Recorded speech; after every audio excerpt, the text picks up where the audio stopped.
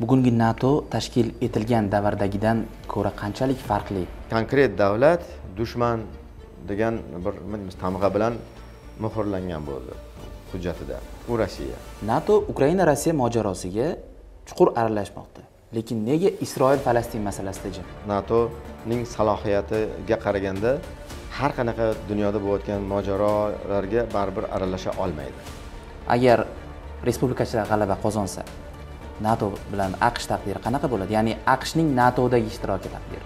Bir tomondan qaraganda talabi mantiqiy. Haqiqatan nimaga aqsh har doim yevropani mudofaasi bilan shug'ullanishi kerak? Nimaga yevropaliklar o'zi bunga ko'proq hissa qo'shmasligi kerak? O'ziga trampning o'ziga aqshning tarixiga aqshning global obro'siga siyosatiga dog' urgan bo'ladiku. To'qqizinchi o'n birinchi iyul kunlari amerika qo'shma shtatlari natoning yetmish beshinchi sammitiga mezbonlik qilmoqda va aynan ushbu sammitning tafsilotlari bo'yicha bugun studiyamizga siyosatshunos farhod aka tolipovni taklif qilganmiz. Bugun aynan nato va uning atrofida sodir bo'layotgan vaziyat umuman rossiya ukraina masalasi hamas hamda isroil bilan bo'layotgan konflikt nizo urush va bundan tashqari ko'plab sharqiy osiyo mamlakatlari natoga Э, atrofida jipslashayotgan mavzulari bo'yicha bugun suhbatlashamiz. Sizga э, aynan mana shu mavzular doirasida bir qator savollarimiz bor. Avvalo yetmish beshinchi amerika qo'shma shtatlarida o'tkazilayotgan nato sammiti э, da kun tartibidagi asosiy masalalar nimalardan iborat bo'ldi bu galgisida? Man o'ylashimcha bu endi yubiley deymiz yetmish beshinchi sammit ekan. Albatta mana shu bosib o'tilgan yo'l qanday tarixga va tajribaga ega bo'ldi. Natodek harbiy alyans harbiy tashkilot kabi mana shunday masalalarni yana bir reviziyaga o'xshagan bir xuddiki e, ko'rib chiqib e, qanday endi yangi davrda masalalar turibdi muammolar turibdi nato oldida kabi masalalar albatta ko'rib chiqilsa kerak. E, va ayniqsa bu safargi sammit xuddi o'tgan yili bo'lgan sammitga o'xshab o'ziga yarasha bir judayam muhim siyosiy davrda turbulentliklar kuchaygan davrda sodir bo'lyapti.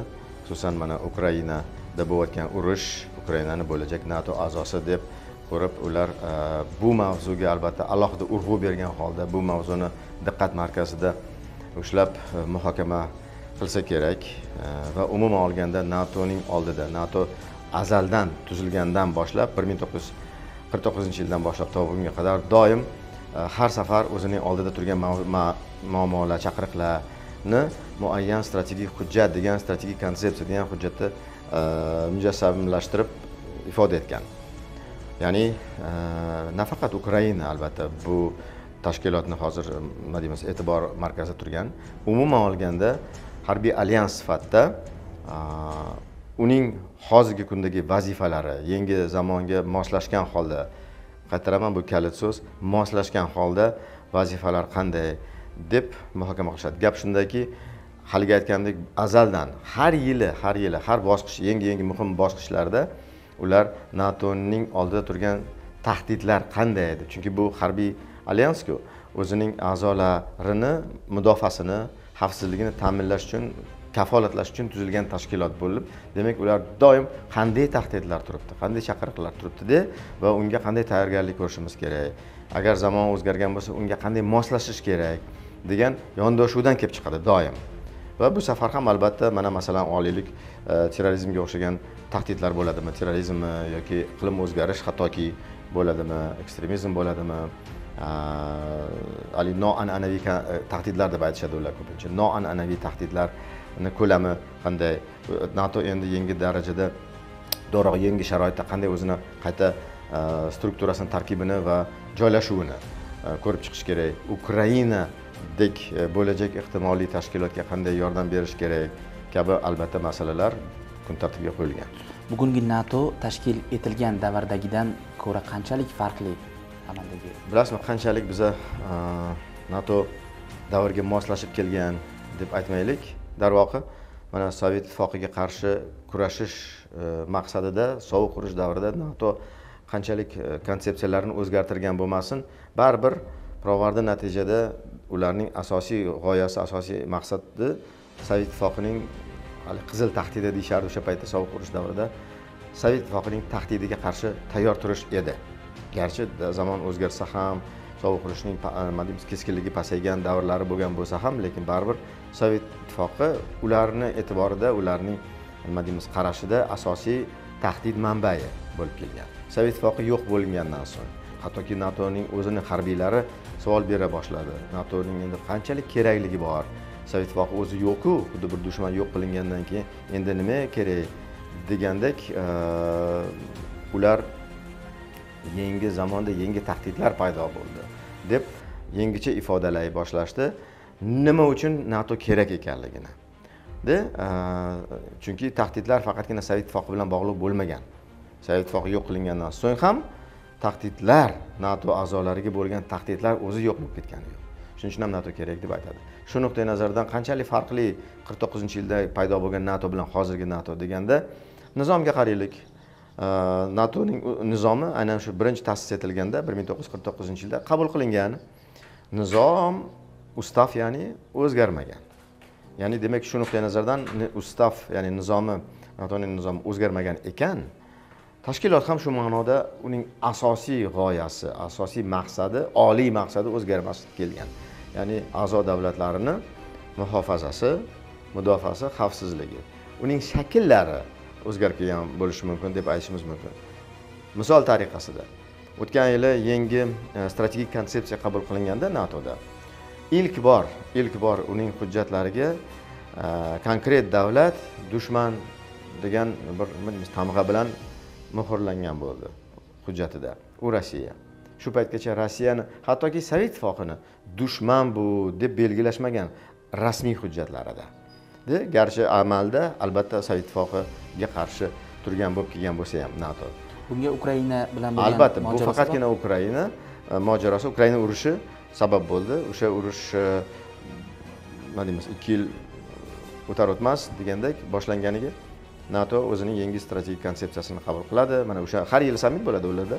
Ana o'sha uh, yangi qarashlari aynan shundan iborat. Endi ochiq oydin rasman rossiyani dushman deb biladi. Qolaversa natoning aksariyati bo'lmish yevropa ittifoqi mamlakatlarini olaylik. Aqsh bilan kanada okeani nari tarafida. Uh, yevropa ittifoqi uh, komissiyasi parlamenti hattoki alohida natodan tashqari rossiya ni bevosita shu urushda ayblagan holda bu terrorchi davlat degan uh, aybnomalar qo'ygan. Bular hammasi natoni a'zolari. Terrorchi davlat degan shunaqa bir aybnoma qo'yilgan. Rasmiy uh, aybnomalar uh, rossiyaga. Demak biz aniq aytishimiz mumkin nato endi bundan buyon albatta rossiyani tajovuzkor davlat sifatida bilgan holda unga endi bevosita qarshi turish uning ehtimoliy bo'lajak tahdidlariga qarshi turish tayyorgarliklarni ko'rish degan e, konsepsiyadan tamoyildan kelib chiqib o'zining harbiy tayyorgarliklarini xavfsizlik dasturlarini ishlab chiqadi. Va natoni to'g'rirog'i ukrainani e, mana shu urushdan jabr ko'rayotgan ukrainani natoga a'zo bo'lishini ham e, kafolatlab kelyapti shu paytgacha. Va o'ylaymanki mana endi bu sammitdan so'ng bu bo'lajak a'zolik manimcha endi konkret bir nima deymiz rejaga aylansa manimcha xato bo'lmasa kerak. Mana juda ko'p guvohi bo'lamiz. Erdo'g'on hamda viktor orban ya'ni vengriya bosh vaziri va turkiya prezidentlarining nato atrofidagi ziddiyatli bayonotlariga. Nato ichidagi bugungi hamfikrlilik va inoqlik qanchalik darajada mustahkam? Bu ham haligi bir savol berdingiz qanchalik oldingi davrdan farqlanadimi yo'qmi nato deb natoda bir bir vaqti vaqti bilan e, uyg'unlik buzilgan holda e, qanaqadir endi parokandalik desam bo'rtirgan bo'laman oshirib yuborgan bo'laman lekin tushunmovchiliklar qandaydir inqirozga o'xshash holatlar uchragan. Misol tariqasida bir ming to'qqiz yuz oltmish oltinchi yilda fransiya bilan aqsh orasida qandaydir tushunmovchilik bo'lganda e, yevropa ittifoqida fransiya o'zining Э, yetakchiligiga erishmoqchi bo'lgan bir davrda u paytda fransiyaning prezidenti mashhur buyuk general sharl de gol prezident bo'lgan e, va uning qarashlari fransiyaning roli bo'lajak roli e, natodagi a'zoligi o'zgacha bo'lgan. E, va mana shu tushunmovchilikdan kelib chiqqan holda liderlikka yevropada intilishdan kelib chiqqan holda bo'lib o'zini mustaqil siyosatini hattoki nato tarkibida olib bormoqchi bo'lib natoning harbiy e, rejalashtirish qo'mitasidan a'zoligini to'xtatadi. Fransiya. Bu degani hattoki natoni o'zidan a'zoligidan to'xtatadi degani asosiy qo'mitadan chiqib ketsa natodan chiqib ketadiganga o'xshash bir vaziyat yuzaga keladi. Oltmish oltinchi yili. Mana shu o'zi bir misol bo'la oladiki qanchalik e, eng bir yirik nufuzli a'zo davlat fransiya ham hattoki e, natoni nimasidan xuddi bir safidan chiqib ketgandek bo'ldi. Lekin biroz vaqt o'tar o'tmas qaytdi ham e, natoga bugungi kunda ham e, balki jarayonlar e, ichki siyosat ichki jarayon natoda a'zolar orasida tom ma'noda uyg'un desak balki xato bo'lar. Tushunmovchiliklar hattoki nima deymiz ana erdo'gan misolida orbanni ham misolida o'zini milliy manfaatlarini ko'proq ustuvor qilib qo'ygan holda Э, natoning umumiy manfaatlariga qandaydir ma'noda bir zid siyosatni yurgizgandek ham ko'rindi. Lekin baribir natoga a'zo ekan baribir bu davlatlar ham erdo'gan yoki e, orban degan prezidentlar ham endi qo'pol qilib gapirganda o'zboshimchalikkacha ham bormagan albatta. Baribir natoning doirasida harakat qilgan. Misol tariqasida mana oling boshida erdo'gan o'tgan yili shvetsiya bilan finlyandiyani ayniqsa shvetsiyani natoga kirishiga qarshi turgan edi. Bu qarshilik deylik e, buni hattoki qarshilik emas shvetsiyaning a'zo bo'lishiga e, bir to'sqinlik qilib bu jarayonni sekinlashtirish e, maqsad qilib qo'yilgan bo'lib ko'proq shundan shu fursatdan foydalangan holda turkiyani o'zini ko'proq manfaatlarini Э, bo'rttirib ko'rsatishga harakat qildi. Xususan shunday bayonotlar ham bo'ldi erdo'gan tomonidan. Э, biz shvetsiyani a'zo bo'lishiga э, rozi bo'lishimizni xohlasangiz chunki turkiya a'zoku bu yerda konsensus bo'lishi kerak hamma a'zolar rozi bo'lishi kerak. Unda bizani roziligimizni olmoqchi bo'lsanglar bizni ham yevropa ittifoqiga a'zo bo'lishimizni ko'p yildan beri oltmishinchi yillardan beri a'zo bo'lishimizni ham inobatga olib tezroq mana shu a'zolikka olishinglarni istardik. O'xshagan talab iltimosni qo'ydi. Ya'ni biz mana eshikni ochyapmiz yashil chiroq yoqyapmiz shvetsiyani a'zoligiga-ku. A biza qachondan beri yevropa ittifoqiga a'zoligini kutyapmiz qabul qilinmayapti deb ishoralar qildi. Aslida bu noto'g'ri yondashuv edi keyin o'zi ham tushundi shekilli chunki yevropada a'zo bo'lish turkiyani yoki e, boshqa tomondan olganda shvetsiyani natoda a'zo bo'lish ikki xil masala bir biriga bog'liq bo'lmasligi kerak.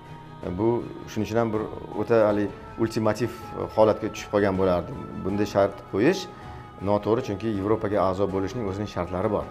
Turkiya bu shartlarga javob berishi kerak. O'shandan keyin ko'rib chiqiladi. Va ko'p jihatdan e, turkiya hali bunday talablarga javob bermayapti. Nato esa boshqa. Oxir oqibat mana shu muzokaralar chog'ida keyin erdo'gan oxir pozitsiyasini yumshatgan holda e, roziligini rozilikni berdi. Natoga e, shvetsiya kirishiga. Mana bir shu ham bir misol. Demak nato a'zolari e, yangi a'zoni qabul qilishda ratifikatsiya qilishda milliy manfaatlarini qo'yishi mumkin emas. O'zini milliy manfaat xalqaro umuman nato ham emas hamma xalqaro tashkilotlar ayniqsa rasmiy xalqaro tashkilot davlatlararo deylik xalqaro tashkilotlarda shunday bir yozilgan yozilmagan tamoyil mavjud. Xalqaro tashkilotlar shuning uchun ham tuzilganki o'zining faqatgina tor milliy maqsadlari uchun emas millatlar davlatlar soni ko'pku. Har birini o'zini milliy maqsadlari ishtiyoqlari ehtiyojlari va manfaatlari bor. Lekin bular umumiy manfaatlar asosida to'plangan tuzilgan tashkilot bo'lib milliy manfaatlarni bo'rttirib ustuvor qilmaslik kerak deb qo'yiladi talab shuning uchun ham Э, qanchalik turkiyani qanday bo'lmasin manfaatlari natoning o'zining umumiy talab qoidalari bor. Nato deganda hattoki qo'mondonlik degan so'zda ifodalanadi. U qo'mondonlikka bo'ysunish kerak. Umumiy qo'mondonlik bu harbiy alyans e, bo'lib o'zining milliy manfaatlarini e, ro'kach qilib e, o'zini tutmasligi kerak albatta natoda. Natoning umumiy umum nato deylik nimalardan maqsadlardan tamoyillardan kelib chiqish kerak. Kezi kelganda mana bejiz emas manimcha eslatish. Joiz э, natoning yana nizomiga qaytsak ustavini tekstini bir ko'rib chiqsak mana ko'ramiz u yerda natoning a'zolari milliy manfaatlardan kelib chiqqan holda unday bunday qila olishga haqqi bor deydiganga o'xshagan jumlalar yo'q. Aksincha beshinchi moddani ko'rsak beshinchi modda ustavda.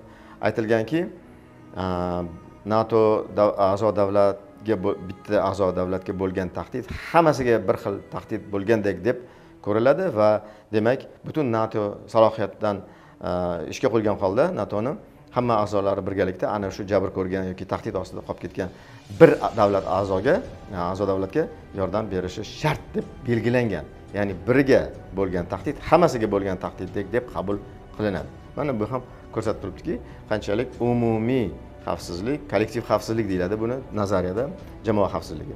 Eh, milliy xavfsizlikdan ustunroq turadi. Mana aqshda bo'lib o'tayotgan nato yetmish beshinchi sammitiga vladimir zelenskiy ham so'nggi yillar taklif qilinyapti. Aynan bu galgisiga ham ishtirok etmoqda. Umuman nato ukraina oldidagi majburiyatlarini qanchalik bajara oldi va o'zi majburmidi? Rasman a'zo bo'lmagan ukrainaga mana shu xavfsizlik masalasida yordam berishga. Birinchidan har qanaqa mana shvetsiya ham oldin aytdik finlyandiya a'zo bo'lish uchun muayyan talablarga javob bergan holda a'zo bo'ldi. Xohlagan davlat a'zo bo'la olmaydi. Na yevropa ittifoqiga na natoga kimga bo'lmasin. Shuning uchun ham agarda ukraina mana undan oldin gruziya ham bor edi navbatda turgan deylik e, moldova bunday intilishlarni bildiryapti hozir. E, muayyan talablardan o'tadi. Haligi qo'sh ichida imtihon deylik muayyan talablardan o'tib imtihonni yaxshi topshirgan holda degandek hamma talablarga javob berayotgan bo'lsa nato oldida qo'yilgan. A'zolik masalasi qo'yiladi kun tartibga. Hozircha ukraina va gruziya ham masalan o'zining ochiq oydin rasman e, murojaatini bergan. Natoga a'zo bo'lish e, murojaatini. Lekin a'zo bo'lishi bu boshqa masala. U muayyan vaqtni talab qiladi tamoyil talablarga javob berishi tekshiriladi va hokazo. Qolaversa bu yerda hozir natoga a'zo bo'lish uchun haligi tamoyillarga javob beradi deganim erta ham bo'lishi mumkin. Nimagaki bu urushda turgan davlat hozir. Urushda bo'layotganligi uchun ham e, bu a'zolik balki ozgina cho'zilsa kerak a'zolikka olinishi. Chunki urush to'xtashi kerak keyin e, bevosita muzokaralar diplomatik muzokaralar boshlanib uning a'zoligi masalasi ko'rib chiqiladi. Majburmidi e, nato deganingiz? Qaysidir ma'noda bu o'rinsiz savol ham deyishim mumkin. Nimagaki e, natoga bo'lajak a'zo murojaat qilgan. Yordam so'rab. Nato uning a'zoligi kelajakda muqarrar ekanligini e'tirof etgan. Garchi keyinroq bo'lsa ham urush tugagandan keyin bo'lsa ham desak natoga a'zo bo'lishi muqarrar eshigimiz ochiq deb e'tirof etgan. Shuning uchun ham qanday qilib bo'lajak a'zoga ko'z yumishi mumkin? Yordam qo'lini cho'zmasligi mumkin. Yordam qo'li cho'zishi tabiiy hol majbur bo'lmagan holda ham bu juda tabiiy hol. Qolaversa bu xalqaro hamkorlik ning bir ko'rinishi masalan davlatlar xalqaro tashkilotlar bilan bevosita ikkita davlat bir biri bilan ham ikki tomonlama shartnomalar bitimlar orqali shu soha shu jumladan harbiy sohada ham hamkorlik qilishi mumkin. Bizning davlatimiz ham shunday hamkorlik qiladiku har qanaqa nato davlatlari bilan harbiy sohada harbiy texnikaviy harbiy siyosiy kabi muammolar masalalar bo'yicha. Demak bu ham tabiiy hol normal holat xalqaro hamkorlik e, bir shaklida deb tushunishimiz mumkin qabul qilishimiz mumkin. Bu yerdaku haligi aytganimdek masala yanada nima deymiz e, yordam berilishi masalasi dolzarb bo'ladi. Chunki bo'lajak nato to'g'risida gap ketyapti. Agar tasavvur qiling yordam bermadi nato. Va ukraina a'zo bo'lishini istagan bildirgan istagini ular urush tugasin qabul qilamiz desada lekin aynan hozir jabr ko'rayotgan urushda hattoki mag'lubiyatga uchrashi mumkin yordamsiz bo'lgan davlatga yordam bermadida qanday qilib ukraina bundan keyin natoga a'zolikka intilsin eng sinovli davrda eng yordamga muhtoj bir davrda yordam berilmasa tinch davrda yordam berishdan nima hojat? Urush bo'lmagan paytda. Qolaversa shuku natoning o'zi uchun ham sinov faqat ukraina emas nato uchun ham sinovki nato bo'lajak urushlar uchun ham tayyor turishi kerak. Bo'lajak hujumlar uchun tayyor turishi kerak. Tahdidlar uchun tayyor turishi kerak. Ukraina ular uchun ham bir sinovli imkon bo'ldi. Shu yerda yana bitta savol tug'iladi o'zi urushni boshlanishiga sabab ham rossiyani jazavaga tushirgan ham aynan natoga intilish emasmidi bu juda murakkab savol. juda katta mavzu soatlab gapirsa bo'ladigan. Nato sharqqa kengayish kengaymasligi to'g'risida majburiyat olgan deb bong urib kelyapti rossiya rahbariyati doim. Bizga va'da bergan edi sharq tomon kengaymasligini yangi a'zolarni olmasligini deb bong urib kelgan edi. Bizga va'da bergan edi. Va'dani ustidan chiqmadi. Bevosita yaqinlashib kelyapti. Chegaramizga ukrainani ham olgan holda tahdid ko'payadiku biz chora ko'rishimiz kerakku deb doim ro'kach qiladi shu masalani. Lekin e, qanday shaklda bunday va'dalar berilganligi haligacha ma'lum emas.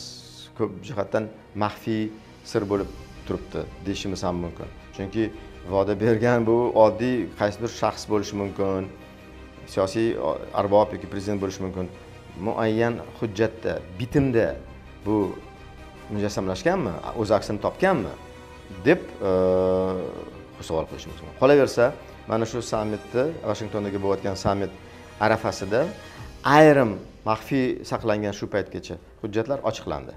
Haligi arxivlardan ochilib o'sha paytda to'qsoninchi yillarda nato mana sovet ittifoqi yo'q bo'lgandan so'ng o'zini qayta ko'rib chiqayotgandan keyin nima qilish kerak endi buyog'iga degan masalalar yuzasida o'sha paytda e, siyosiy odamlar ayniqsa aqshda e, nima maslahat bergan e, ham nato rahbariyatiga ham o'zini prezidenti. Masalan aqsh prezidentining maslahatchisi milliy xavfsizlik masalalari bo'yicha maslahatchisini o'sha paytda sirli qilib qo'yilgan memorandumlari chop etildi. Ya'ni nima maslahat bergan ekan? Masalan bill klintonga uning milliy xavfsizlik bo'yicha maslahatchilari nima qilish kerak deganda ham qiziq qiziq ma'lumotlar chiqib kelyapti hozir. Unda rossiyaga qarshi dushmanlik kayfiyati bo'lmagan ekan. Rossiyani iloji boricha e, tinchlantirib degandek mm, xohlagan davlatlar sharqiy yevropada joylashgan shu jumladan ukraina ham. Kirishga haqqi bor. Va bundan to'xtatmasligi kerak rossiya ularni intilishidan degan maslahatlarni bergan ekan prezidentga. Va iloji boricha rossiyani ishontirish kerak. Bu a'zolik kerak bo'lsa rossiya uchun ham ochiq. Rossiya uchun ham ochiq. Rossiya kerak bo'lsa o'zi ham a'zo bo'lib natoga kirishi mumkin degan maslahatlar bo'lgan ekan. Qarang ochiq oydin keskin ravishda rossiyaga qarshi turmagan hech qachon nato va maxfiy hujjatlarda ham bu ko'rinib turibdiki ming nato sharq tomon kengaysa ham rossiyaga qarshi jarayon emas edi bu deb qolaversa haligi savolga qaytsak va'da hech qanaqa va'da ham berilmagan ham hujjatda muhrlangan va'da. Qolaversa yana bir masala. Ular hozir ukrainani ro'kach qilyapti rossiya tarafi. Ukraina ular uchun bir agar natoga kirsa balodek ko'rinyapti. Axir rossiyaga chegaradosh bo'lgan davlatlarning o'zi natoga a'zo bo'lib bo'lgan davlatlar. Ya'ni demak natoni o'zi rossiyani chegarasida turibdi. Degan ma'noda aytsak beshtaku to'g'ri. Beshta davlat a'zo. Uchta boltiq dengiz davlati latviya litva estoniya sobiq sovet respublikalari. Buyog'i mana bu yil finlyandiya qo'shildi. Agar u yog'ini shvetsiya desak ham endi bevosita chegaradosh bo'lmasa ham boltiq dengizi orqali e, beshtami? Ukraina bo'lsa endi natoda nima o'zgaradi? Baribir agarda chegaramizga yaqinlashdi nato desak chegarada turibdi. Allaqachon nato. E, shuning uchun bu mantiq biroz mavhum bo'lib qolyapti. Faqat natoga kirish bo'lmasa kerak. Rossiyani urushi boshlashga nato ukrainaga qarshi deb nato yaqinlashyapti deb. Yaqinlashib bo'lgan nato.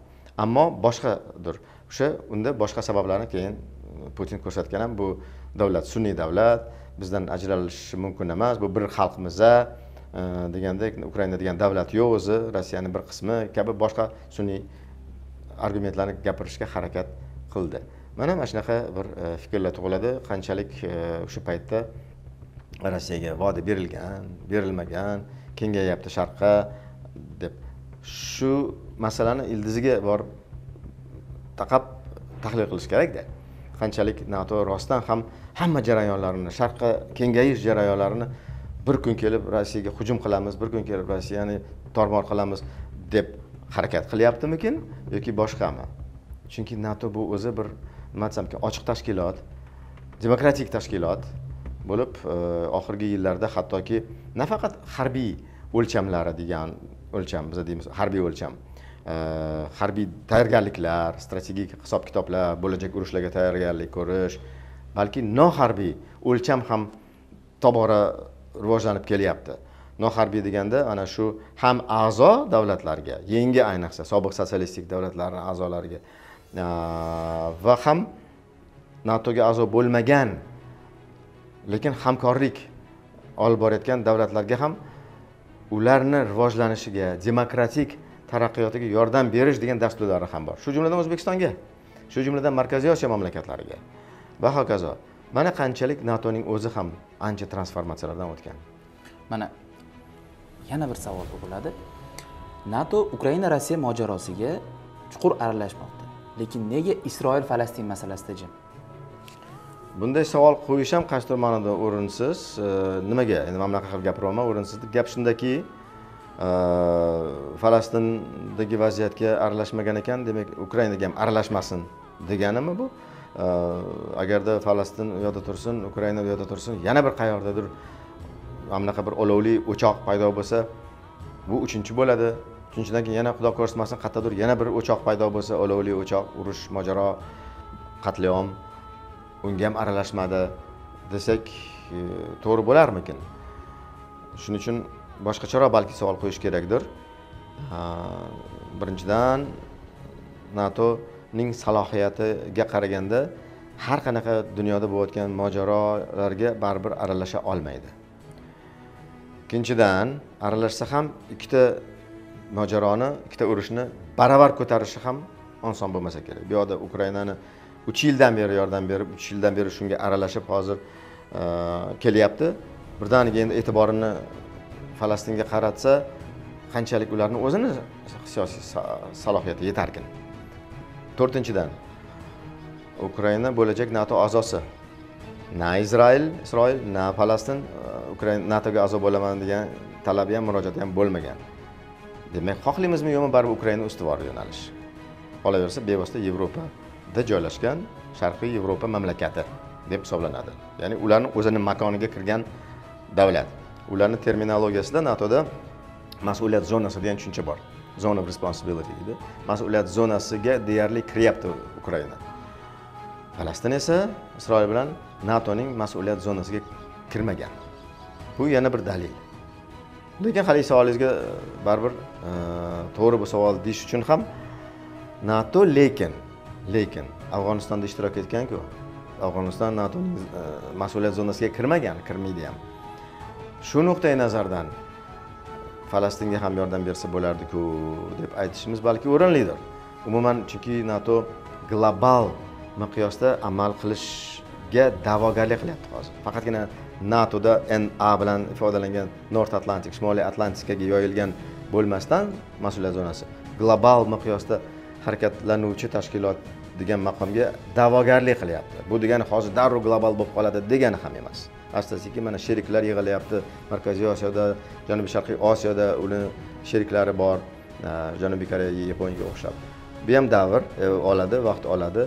Shuning uchun ham hozir mana bunaqa savol qo'yish e, afg'onistonda ham ishtirok etdik afg'onistonda ishtirok etganiga nima sabab bo'ldi?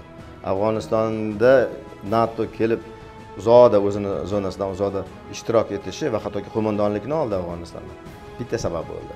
Beshinchi modda ustavda beshinchi moddada nima deyilgan?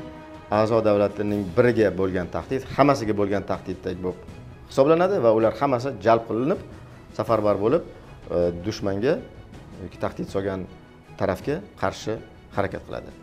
U 11.9 deb atalgan ya'ni 9 sentyabr 2001 yilda aqshga bo'lgan hujum terrorchilik hujumi asos bo'lib olindi. Aqsh natoning a'zosi unga hujum qilindi unga tahdid bo'ldi. Qolgan nato a'zolari 5 moddaga e, mu- murojaat qilgan holda asoslangan holda aqshni yoniga turib deganda yordam tariqasida afg'onistonda haligi jazo operatsiyasi deyishadi o'sha dushmanni deylik e, yanchish degandek operatsiyasiga qo'shiladi. Shuning uchun ham buni atroflicha ko'rib chiqish kerak. Nimaga falastinga yordam bermayaptiyu nimaga ukrainaga yordam beryapti. Mana global tashkilot bo'lishga harakat qilyapti dedingiz. Aynan bu galgi sammitga ham e, uzoq sharq vakillari yaponiya janubiy koreya e, avstraliya va yangi zelandiya taklif qilingan. Ya'ni alyans yana kengayadimi yoki global o'sha yoki g'arb mafkurasi ostida mafkurasi kengayaptimi uzoq sharqgacha? Ha natoda e, a'zo degan maqomdan tashqari bir nechta yana boshqacharoq bir maqomlar bor a'zo bo'lmagan davlatlar uchun alohida bir nima deymiz e, platforma deymizmi makonmi e, yaratilganki aloqalarni ushlab turish uchun. A'zodan tashqari masalan sheriklar degan maqom bor. Bu sheriklar e, ko'proq anaqa tinchlik yo'lida hamkorlik degan dasturda ishtirok etuvchi davlatlar. bir ming to'qqiz yuz to'qson to'rtinchi yili nato sobiq sotsialistik va sobiq sovet respublikalariga shu jumladan markaziy osiyo mamlakatlariga tinchlik yo'lida hamkorlik degan dasturini taqdim etadi. Hamkorlik uchun. Harbiy yordam ta'lim degandek va noharbiy sohadagi xavfsizlikka lekin oid yordam dasturlar yani chunki xavfsizlik faqat harbiy masala emas noharbiy ham. Ekologik xavfsizlik iqtisodiy xavfsizlik va hokazo. Mana bular sheriklar.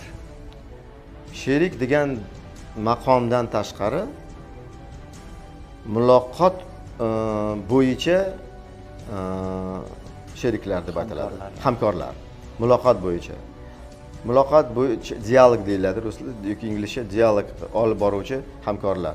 Bular undanda olisroq joylarda joylashgan janubiy koreya yoki e, yangi zelandiya deymizmi avstraliya yaponiya kabi davlatlar mana shu maqomga kiradi ular natoning zonasidan ancha yiroqda hattoki biz yaqinroqmiz natoning zonasiga.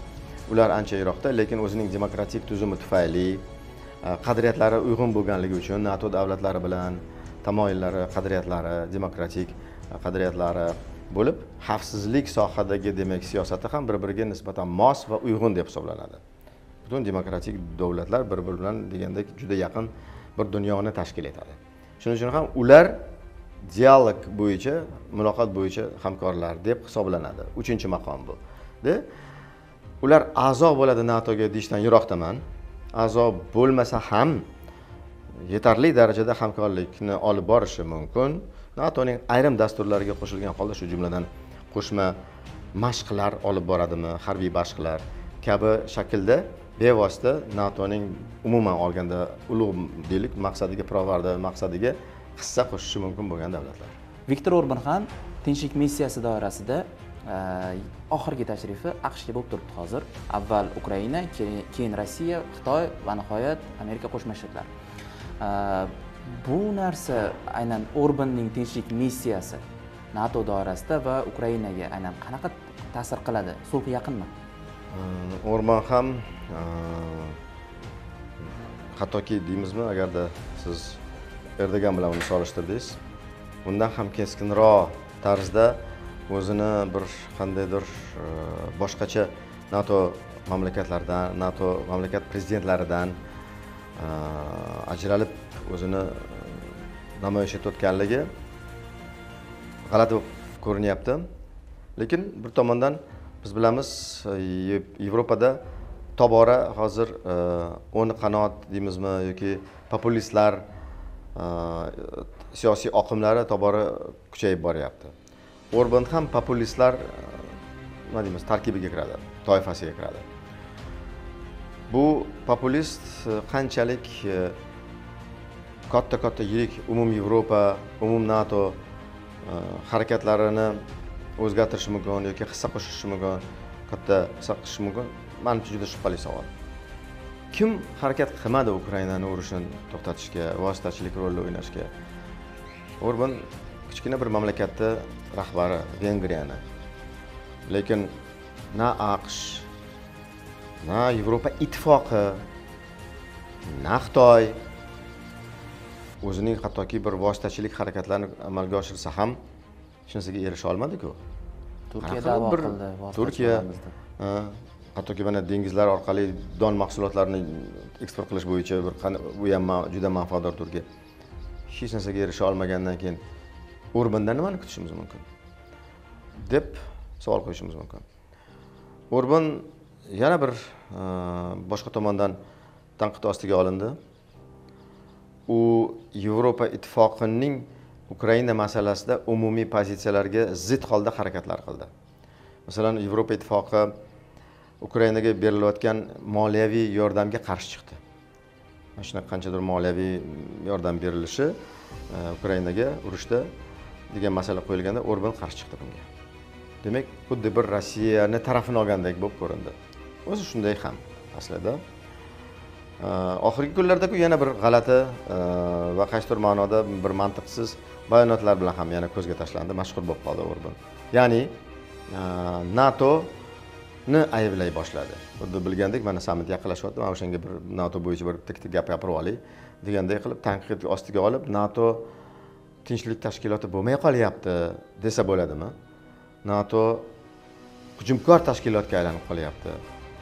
Tinchlik tashkilotiga emas biz bir vaqtlar vengriya to'qsoninchi yillarda e, nimaga natoga a'zo bo'lganimizda biz tinchlik maqsadda tinchlik tashkilotiga a'zo bo'lib kirgan edik. Deb qanaqadir g'alati gaplarni aytdi. Bu tobora hujumkor tashkilotga aylanayotgan ekan tinchlikni izlamayotgan ekan bu tashkilotni shunaqa tanqid qildi. Man shuni eshitganimdan keyin o'qiganimdan keyin quyidagi mana mana bunaqa ikki uchta javobiy degandek fikr tug'ildi manda. Qaysi misollar bilan e, aytishi mumkinki orban hujumkor harakat qilyapti nato deb. Nato o'zini sherigiga ehtimoliy bo'lajak a'zosiga yordam qo'lini cho'zyapti. Rossiyani bitta ham santimetr territoriyasiga hududiga da'vogarlik qilmayapti. Hattoki qurol bergan sari ukrainaga shart bilan beryapti. Bu qurollarni rossiya hududiga qarshi ishlatmaslik sharti bilan hujum qilmaslik sharti bilan ya'ni nato xuddiki qo'shninochida aytaylik xavfsirayapti ish qilib urushni rossiya hududiga o'tkazib yubormaylik deb. Faqatgina bitta maqsad bilan beryapmiz deb aytadi doim ukraina o'zini xavfsizligini va mustaqilligini tiklash uchun territorial yaxlitligini tiklash uchun rossiyani o'zini hududidan chiqib chiqazib chiqazib yuborish uchungina berilyapti rossiyaga qarshi urush olib borish uchun emasku deb aytgandan keyin qanday qilib orbanni bu gapini qabul qilishimiz kerak hujumkor tashkilotga aylanyapti deb aynan mudofaa tashkiloti bo'lyapti bo'lajak a'zosini mudofaasini o'ylayapti degandek va bu natoning bevosita missiyasiga va maqsadiga kiradigan g'oyaku fikrku demak hech qanaqa o'zgarmagan ekan nato. Orban hattoki natoni missiyasini o'zi yaxshi tushunadimi? Ustavini yaxshi o'qiganmi? Degandek xuddi o'quvchiga berayotgan savolni bermoqchiman ulargada. Ustav o'zini yaxshi bilarmikin? Nima deyilgan ustavida? Bu turistik tashkilot emasku iqtisodiy tashkilot emasku savdo tashkilot emasku harbiyku. Baribir bo'lajak ehtimoliy urushga tayyor turiladigan tashkilot bu.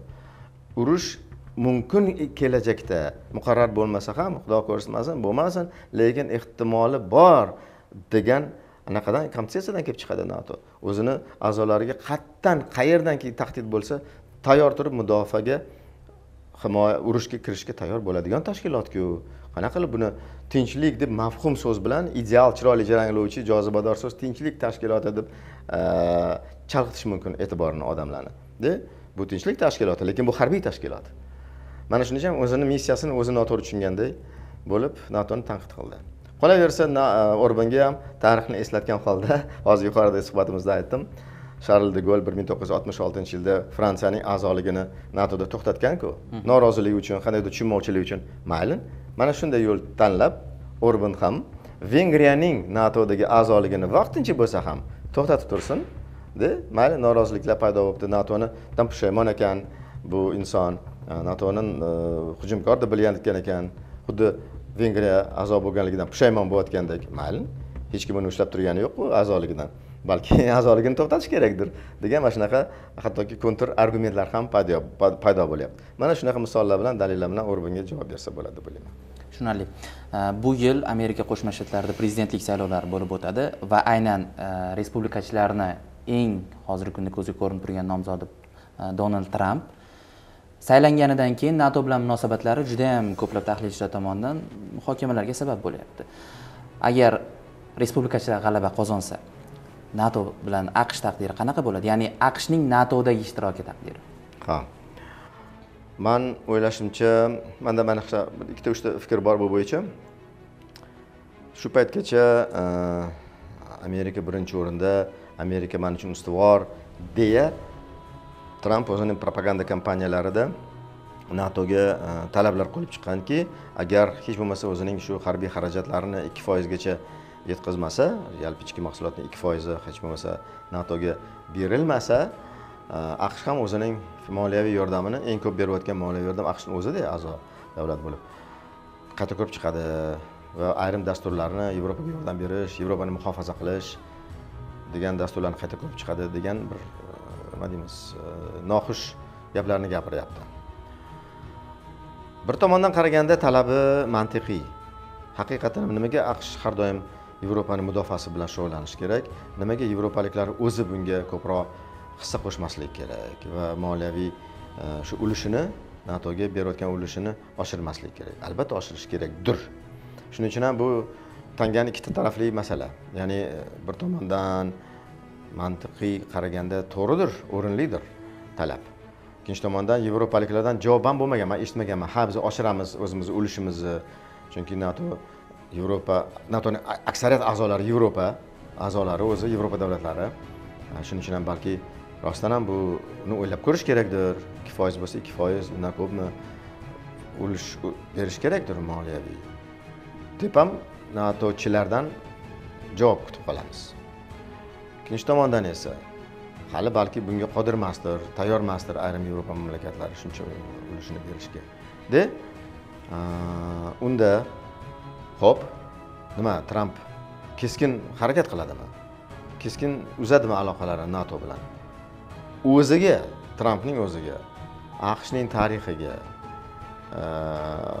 aqshning global obro'siga siyosatiga dog' tushirgan bo'ladiku. Ham yevropaliklar aqshning o'zi uzoqdagi sheriklar avstraliya yoki yaponiya yoki janubiy koreyalar aqshga boshqacha ko'z bilan qarayapti. Katta umidlar bilan qarayapti. Bu ulkan davlat e, bu vaqt kelganda xudo ko'rsatmasin qandaydir tahdidlar keskinlashib ketsa aqshga murojaat qilishimiz mumkin yordam qo'lini cho'zadi degan bir nima bilan tarix rivojlanib keldi. Butun yigirmanchi asr shunday bir nima bilan tasavvur bilan aqshga nisbatan shunday hurmat bilan rivojlanib keldi. Butun mana shu to'plangan obro'siga aqshni obro'siga avtoritetiga salohiyatiga bo'lgan ishonchga bolta uradimi tramp shuning uchun populist sifatida deylik uni ham qabul qilaylik o'rbanga o'xshab qanday murojaatlaru bayonotlar qilmasin umumiy aqshning general yo'liga e, yo'lidan keskin burvormasa kerak global yo'lidan deylik tarixiy yo'lidan siyosatini keskin burvormasa kerak. Ayrim o'zini harakatiga xos bo'lgan albatta. Tashqi siyosatini amalga oshirishi mumkin. U juda ekspressiv juda g'alati bir eh, inson shaxs sifatida. Uning psixologik mana bunaqa bir xatti harakatlari emotsional eh, ko'rinishlari. Lekin davlatni faqat tramp boshqarmayaptiku. Aqsh bu faqat tramp emasku. Aqshda o'ta qudratli va prezidentdan ko'p jihatdan mustaqil bo'lgan kongress bor.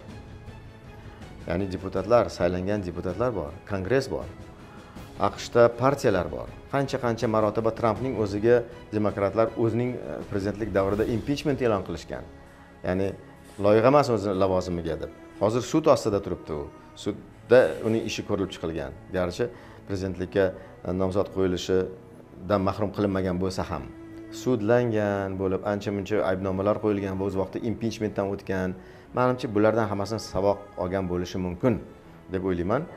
Tramp ja unaqa qulog'i kar ko'zi ko'r odam bo'lmasa kerak va mana shu murakkab siyosiy tizim shundan olaylik kongress partiyalar jamiyat fuqarolik jamiyati degandek bo'lib va uni ustida hozir mana bunaqa yuridik ishlar bo'layotganligi hammasi to'planib trampning o'ziga ham saboq bo'lgan bo'lishi mumkin va keskin ravishda aqshning siyosatini burib yubormasa kerak. Endi shuni taxmin ham qilaylik.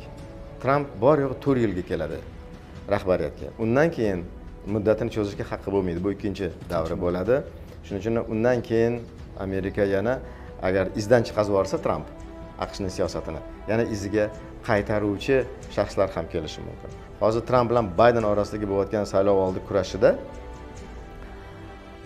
hattoki oldingi to'rt yil oldin bo'lgan kurashda kuzatilgan narsa yana kuzatilyapti va hattoki yanada jirkanch yanada bir keskin ravishda namoyon bo'lyapti qaytarilyapti. Ya'ni demokratik kurash bo'lmay qandaydir bir biriga qarshi ikkita shaxs tosh otish bilan qoralash bilan haqorat qilish bilan o'tyapti bu kompaniya ikkinchi nima qilaman?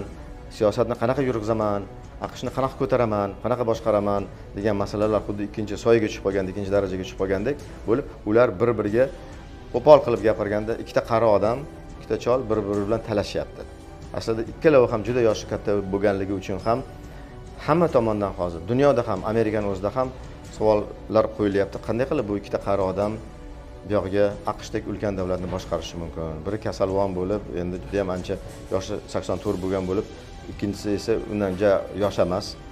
To'rt yilmi uch yil yoshroq faqatgina xolos bo'lib e, bu saboqlardan bu sinovlardan ham aqshni o'zi ham o'tyapti. Shuning uchun mana bunaqa qilib yakunlaylik bu savolni tramplar keladiyu ketadi.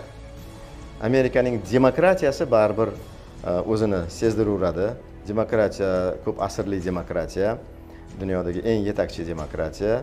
Manimcha aqsh e, unga nima deymiz dog' tushishidan e, ogoh tushunib turibdi.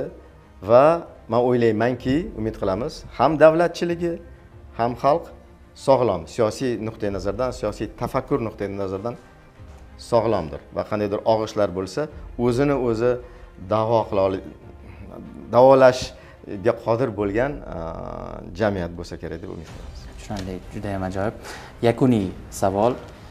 Bu galgi sammitdan so'ng dunyo siyosiy sahnida qanaqa o'zgarishlar bo'lishi mumkin? Nima o'zgaradi ya'ni?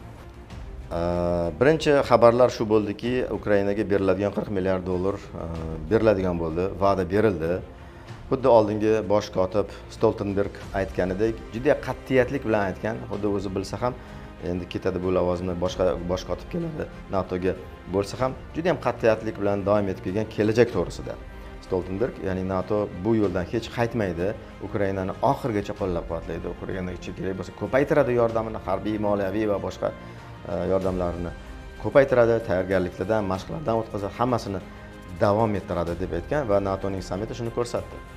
Shu nuqtai nazardan e, manimcha yaqin kelajakda har holda trampning saylanishigacha hali saylanadimi yo'qmi noma'lum.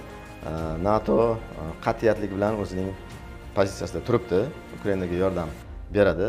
O'zining a'zolarini himoyasi va e, xavfsizligini kafolatlash bo'yicha yana bir bor tasdiqladi shu pozitsiyani. Chunki faqatgina rossiya emas dushman. Terrorizm bo'ladimi ekstremizm bo'ladimi iqlim o'zgarish masalalari bo'ladimi? Hattoki bilmadim bu hozir kun tartibga qo'yilmagan bo'lsa ham lekin hammani ongida hozir yevropani o'zida bir qaysidir ma'noda yevropaliklar nuqtai nazaridan nodemokratik e, nosog'lom tendensiyalar kuchayib boryapti o'ng qanot siyosiy kuchlar bosh ko'taryapti deb demokratiyani ham endi hattoki muhofaza qilish kerakmikin? Yevropani o'zida degan amerikani o'zida demokratiyani muhofaza qilish kerakmikin degan e, savol. Garchi natoning vakolatiga kirmasa ham natoning a'zolari ham hammasi mana shu masala ustida bosh qotiryapti. Shuning uchun ham bu ham albatta natoning missiyasiga e, muvaffaqiyatli siyosatiga va harakatlariga ta'sir qilmay qolmaydi albatta. Sizga kattakon rahmat bugungi suhbat uchun jahon siyosiy sahnida sodir bo'layotgan muhim hodisa va ularning tahlili tafsilotlari bilan o'zbekiston milliy axborot agentligi kelgusi dasturlarda ko'rishguncha xayr salomat bo'ling.